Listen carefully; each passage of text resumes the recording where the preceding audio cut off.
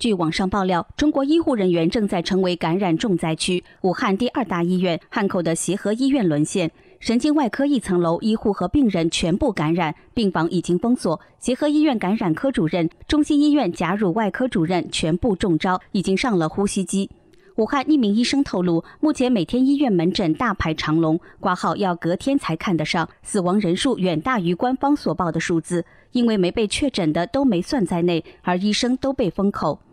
昨天二十一号，我们才到了真正可以有效防护的口罩，跟病人看病，看他口腔啊，要看咽部啊，你都可以感觉到病人呼到你脸上那种气味。我接触病人这么长时间，我现在也开始感冒，只是没有高热、这样胸痛啊，我都没有时间去给自己做一个系统检查。据报道，中共国家卫生委员会呼吸系统专家王广发在前往武汉检查工作后，回北京被确诊为武汉肺炎。讽刺的是，他在十多天前还说武汉整体病情可防可控。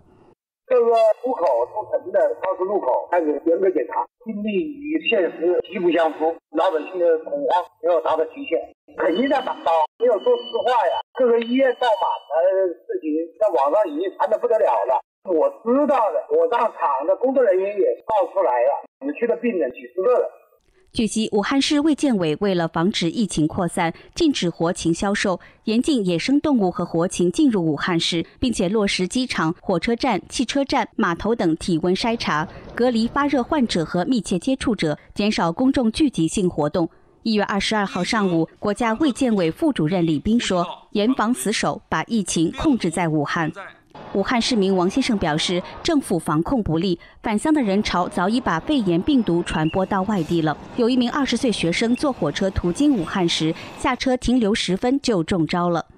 疫情发生这么久，根本就没有准备口罩，现在市面上就没有口罩卖了，基本上一来就一抢而空了。封路还是没封？武汉这么大地怎么封啊？不现实。这几天返乡的人已经最起码走了一多半了，回来的人也估计有百分之五十以上了。